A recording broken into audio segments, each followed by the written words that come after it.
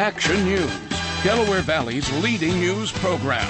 With Matt O'Donnell, Tamala Edwards, Karen Rogers, and meteorologist David Murphy. Two local fire companies hosted fire safety events with some valuable lessons for youngsters. The action cam was in Harleysville, Montgomery County, where the Towamencin Volunteer Fire Company staged a live burn. The purpose to show everyone just how fast fire spreads and how fire sprinklers can make a life-saving difference. The fire company encourages fire sprinklers in all new home construction. The Camden County Fire Academy hosted a similar live burn in Blackwood last night. This demonstration was also to show how fire sprinklers are the best line of defense when fire strikes. Statistics indicate that fires claimed the lives of 85 New Jersey residents last year.